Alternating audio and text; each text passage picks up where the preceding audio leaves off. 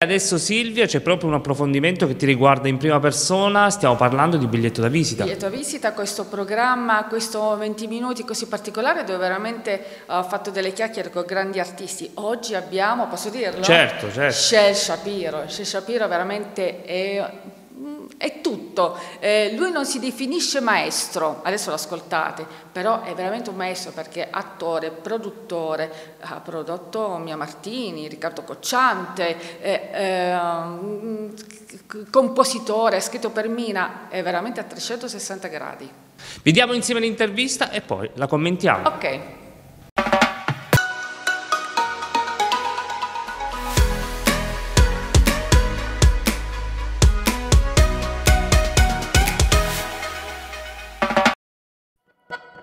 Bentornati cari telespettatori nella nostra rubrica settimanale Biglietto da visita.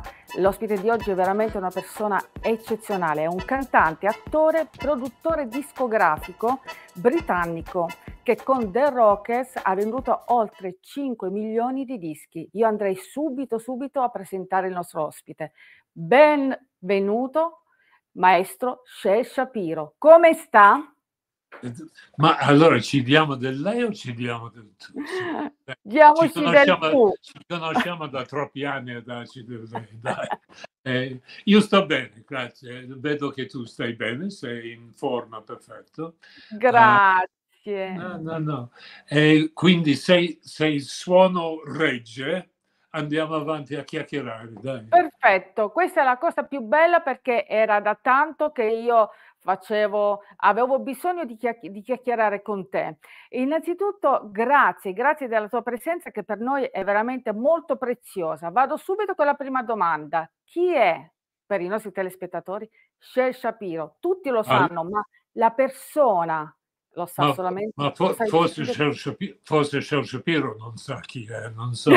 Mi sembra che un che oggi come oggi è anche lecito, credo, non sapere più chi siamo. Eh, siamo in un momento di, di confusione sociale, credo. Uh, però per semplificare, diciamo che Shel Shapiro, uh, in inglese c'è un'espressione bellissima che si, si, si dice Jack of all trades, master of none, che vuol dire che fai un po' tutto, perché sai fare un po' di tutto, ma maestro, non sei maestro di niente. Uh, e certe ecco. volte mi sento... Uh, certe volte mi sento un po' in quella categoria lì. Poi ogni tanto mi do, ma non, non, diciamo sciocchezza, che in qualche cosa lo sai fare, però in grande linea questo è, insomma. Dai. No, no, no, sai fare, sai fare veramente tutto, veramente sei stato anche, sei ancora oggi un grande, grande artista. Shell, mi puoi raccontare da londinese come sei arrivato in Italia? In treno. Um, Mi fai uh, morire. Così, così, ho evitato tutta una storia lunga e noiosa. eh, uh, no. Noi vogliamo sentire quella storia perché è importante, è importante. Ma guarda, la storia, la storia, anche quella è abbastanza semplice. Eravamo, uh, ero in Germania, ad Hamburgo, in uno di questi uh-huh. locali, un locale che si chiama Top Ten, um, e riceviamo una telefonata dal nostro agente uh, pro, okay. diciamo produttori, oggi si direbbe produttori, allora era un agente, dice volete fare quattro settimane in Italia accompagnando un cantante, dice vabbè, andiamo in Italia per quattro settimane ed eccoci qua, ecco. Ah, fantastico. Dai quattro settimane poi è arrivata tutta tutto il suo periodo qui tra, tra concerti, sia come produttore, come attore, ha fatto tanto, tanto di più. Sì, vero? è stato, guarda, è stato, tra l'altro, eh, cioè, sembra, sembra una storia lunga, ma in, sì, per certi versi lo è. La vita, eh, la storia della vita è sempre lunga. Uh, e in genere però la storia della vita è sempre molto semplice. Uh, noi siamo arrivati in Italia per quattro settimane. Per fortuna qualcuno, uno che lavorava con Teddy Reno, è venuto a vederci in, in un teatro a Roma. Uh, ci hanno detto volete accompagnare, fare un tournée accompagnando Rita Bavone e noi eh. abbiamo detto Rita chi, perché non sapevamo chi fosse. Eh, abbiamo fatto un po' di mesi con Rita, dopodiché eh, ci siamo lasciati, abbiamo fatto i primi dischi, poi abbiamo aperto il Piper Club a Roma nel febbraio del 65 e tutto il resto è noia. Ecco, dopodiché è diventato una, una roba bella, ma a raccontare è così noioso. Dai. Eh vabbè, però è, era un periodo anche, cioè io credo che ci sia tanta differenza tra gli anni che, lei ha vissuto, che tu hai vissuto musicalmente e di oggi. Quindi che differenza, eh, tu che hai vissuto questo periodo, c'è Sì. molta differenza di musicalità, anche di genere e di come si vive la musica oggi? Allora, eh, la differenza che, ehm, che ci, si percepisce di come si vive la musica, secondo me, è semplicemente perché non abbiamo più vent'anni. Eh, io credo che i ventenni di oggi vivono la musica esattamente come lo vivevamo noi allora.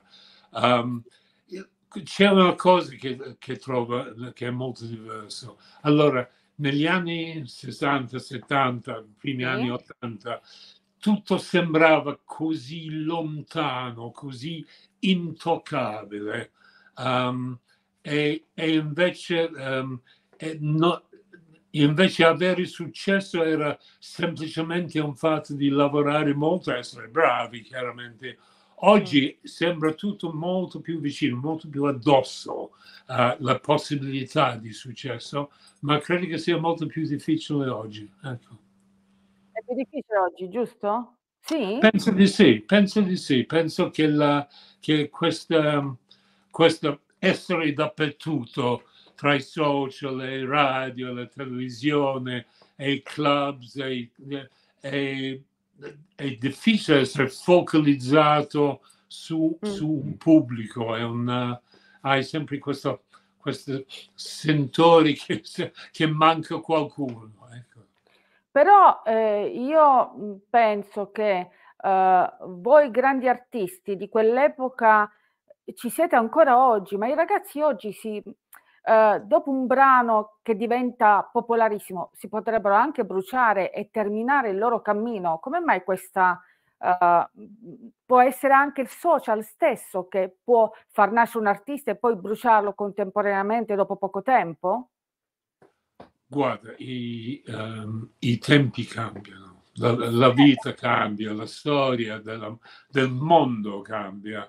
Um, io, è un po' vero quello che tu dici, ma anche allora c'erano una quantità di ragazzi della mia età di allora mm. che facevano un disco e poi sono spariti, sai? Quindi non trovo che quello è, uh, non trovo che è cambiato molto in quel senso lì.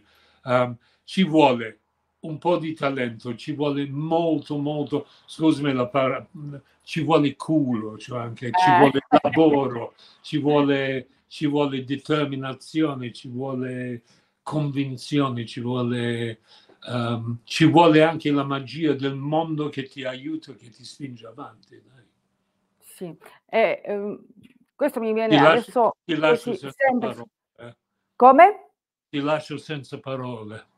No, no, ma anche perché eh, stai dicendo delle cose veramente talmente importanti perché i ragazzi che ci seguono, eh, tante volte io chiedo ai nostri ospiti di dare un consiglio a questi ragazzi, come muoversi, perché veramente oggi ci sono tanti ragazzi, diciamo, che vogliono studiare meno gli strumenti musicali, ma vogliono più cantare pensando che il canto sia un qualcosa di facile, eh, eh, raggiungibile in maniera molto facile perché ci sono i social, oggi tutti cantano e tutti si vedono su TikTok, Facebook eh, e Instagram.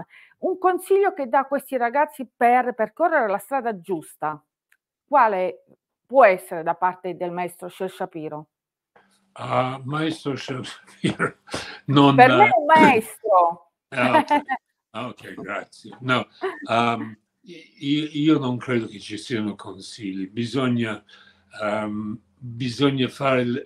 Allora, se lo stai facendo per soldi, è meglio uh, comprare i bitcoin. uh, se lo stai facendo per passione non hai bisogno di consigli, cioè le passioni ti porta, ti segna la strada, ti, ti indica dove devi andare, ti indica chi, con chi devi parlare, ti, ti apre, ti apre le, le, le, tende sul mondo, hai capito? Eh. Non, non ce ne sono con, la determinazione con il talento e la convinzione interiore. Uh, è una buona dose di autocensura, anche di, di autocritica. Uh, sapere se hai i numeri o no, perché ognuno di noi dentro sa se si sta illudendo o se ha i numeri veri. Eh sì, eh sì. Eh, ha proprio ragione. Nel 1977 lei ha, eh, tu hai fondato una casa discografica. Chi sono questi personaggi che è riuscita a portare al successo? Beh, in quel momento lì um, c'era, abbiamo abbiamo prodotto allora Ferradini, abbiamo prodotto abbiamo Ron, um, poi io stavo producendo Coccianti in quel momento, uh, mio wow. socio Colombini stava produ- producendo Lucio Dalla, Lucio che era, eh, era un momento molto, um, molto creativo, era un momento anche quando si stava aprendo anche il mondo, eh, un, siamo stati ass- assecondati dal, dall'arrivo della televisione a colori, delle radio libere, delle televisioni libere anche. Um, cioè stiamo parlando dei primi anni anche di, di, di, del mondo di Berlusconi, quindi era un momento in esplosione. Um, quindi, molto fertile. Scusa, sì, assolutamente. Molto, fertile. Sì, sì, sì, molto fertile, molto Um, e devo dire, a differenza di oggi, oggi mi sembrano tutti incazzati, non so, invece allora tutti sorridevano, tutti, tutti erano felici di, di, esserci, hai capito? Di essere. Um, e questo una, credo che questo è uno dei è un po' un problema italiano in questo momento, perché se vai su a Londra o vai in, in, in altri paesi, la, la, gente è più sorridente, meno, meno disposta a litigare, cerca di essere mm. più, più lieve, perché il mondo deve essere lieve, perché se no diventa, abbiamo già abbastanza drammi intorno a noi per, senza aggiungerci noi in prima persona. Ecco. Sì, ma io credo anche che in Italia eh, il mondo della musica viene rispettato molto meno dagli altri posti all'estero. Pensi la stessa cosa? Non, non, ti so dire Silvia, perché io non, non, è adesso che io lavoro quotidianamente con il mondo della musica. Um, io, io, lavoro con il mondo, in qualche modo, della comunicazione, però okay. vedo che, per esempio, um, eh, allora ho visto l'Eurovisione l'altro giorno. Sì. Um, è, è molto difficile capire dove sta la musica o dove sta andando la musica, perché una volta um, era necessario avere delle bellissime canzoni, adesso sembra che devi avere, um, che ti posso dire, Cirque du Soleil sul palcoscenico con te, capito?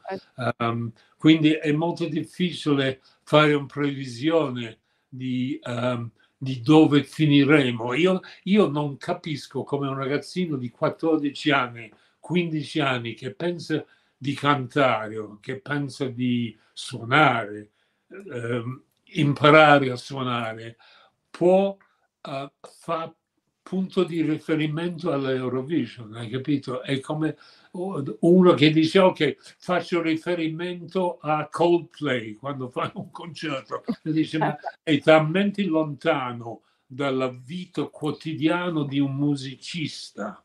Um, cioè non è che devi fare quello per guadagnare da vivere, devi essere bravo, devi essere, devi essere um, devi avere quel, eh, il famoso X Factor, sì, lo devi avere in qualche modo, ma non c'è bisogno di tutta l'apparenza, c'è bisogno eh. del cuore, c'è bisogno dell'anima, c'è bisogno del, del, dell'emozione e non c'è più, non c'è nessuno, più. Può, sì, nessuno può costruirti le emozioni intorno. O tu ce l'hai e lo regali a chi ascolta, se no è inutile che fai questo lavoro. Guarda, mi hai fatto venire veramente la pelle d'oca perché io questo eh, lo dico sempre, oggi è tutto, la musica è diventata tutta troppo fredda e quindi tanti virtuosi, però eh, come diceva il grande Gorny Kramer, che io ho avuto l'onore di conoscerlo, eh, eh, la musica sono come un, una collana di perle che si rompe nota per nota e quello è il difficile, non è tanto la, l'agilità, eh, farsi notare, ma quelle poche cose e che non si studiano, bisogna veramente averle dentro come hai appena finito di dire tu. Eh, come attore, anche attore sei stato, quindi sei un maestro a 360 gradi, Shell. Ma quello non è, quello ah, non è mai, non è mai il modo perfetto. Quello, quello, è divert, quello, è divertimento, però, hai capito? um, no, ma e così sei stato anche un attore, hai fatto un film con Cocchi e Renato, giusto? Se dico... Beh, guarda, ho fatto, sì, uh, l'ultimo che la gente ha visto era quello con uh, Fabio De Luigi e Michela, um, Michela con uh, Ti presento Sofia, quindi uh, che ho visto Michela Panazzotto, intendo. Um, e, e, e, quindi ogni tanto faccio quelle robe lì, ma è divertente perché ti permette di non essere più te stesso, hai capito? Quindi sei la, sei la parte di uno stronzo. Allora tu fai... A me viene particolarmente bene, devo dire. Ma... Eh, no, allora, io... Ehm... Ah, una cosa importante, prima di salire su un palcoscenico, hai qualche gesto scaramantico? No, no. No? No, eh, concentrazione, no, quando avevo 18 anni sì. Um, adesso uno, uno eh, dice ok mi ricordo, tut, mi ricordo tutto quello che devo fare eh, e non sta lì a fare i gesti scaramantici, controlla che ha le penne eh, in tasca le, per suonare, che ha un fazzoletto, che ha, non so, quelle, le cose molto più essenziali. Insomma. Andiamo ad, ad oggi. Progetti. Mm. I progetti di Shell Shapiro, quali sono? Progetti attuali? Allora, i progetti, i, progetti, allora, i progetti sono difficili perché io ho dei progetti, ma è anche vero che c'è un, c'è un diffidenza uh, in, uh, a fare un progetto di gente della mia età, tanto per cominciare. Perché? perché? ma perché è, è, ma per tutti i motivi, cioè fare un elenco sarebbe assurdo, no. ma per, per, i motivi che um, tendenzialmente vogliono che tu sia in televisione quattro giorni a settimana, um, che, che, che sei in radio cento volte al giorno in qualche modo, um, che non riguarda tanto la, la mia generazione uh, e la generazione, ma, ma, non solamente la mia generazione, anche di generazioni più giovani di me. Sì. Um, cioè uno, io pro, quando producevo Riccardo Cocciante um, uh, o, mi, o, Mia Martini, questa gente qui, uh, cioè andare in radio era scontato. Adesso io vedo che anche Riccardo fa un disco nuovo, ma non va in radio. La gente non è che dica, ah, oh, c'è un nuovo disco. Cioè, è passato, si, si, fa un altro tipo di lavoro. Quindi io ho dei programmi di teatro, di um, due, sto lavorando su una, una, diciamo, una cosa di teatro canzone, ma wow. è, più, è più un concerto rock in teatro che racconta il mondo però della, della musica. Quindi avevo già fatto una cosa così con uh, Edmondo Verselli nel 2007-2008, che era bellissimo. E allora stiamo lavorando su non una nuova versione, ma su una cosa che segue quella stessa direzione. Insomma. Wow, fantastico, fantastico. Lo sai, Shell, che stiamo, stiamo per concludere perché i 20 minuti sono volati. Sì. Te ne sei accorto? Io, no, io non, ti, non stavo contando, io non conto mai il tempo. Io trovo io che... Devo, devo contare... Sì, eh... io, io, potrei anche offendermi, sai? Non... ma io no, sono veramente triste. Io non perché... conto, uno, uno, non deve contare il tempo, non deve eh. guardare troppo l'orologio, e, ma eh, lo so che sponsors e pubblicità fanno tutte queste rendono tutto molto più equilibrato e certe volte è così bello quando non c'è equilibrio. Ecco.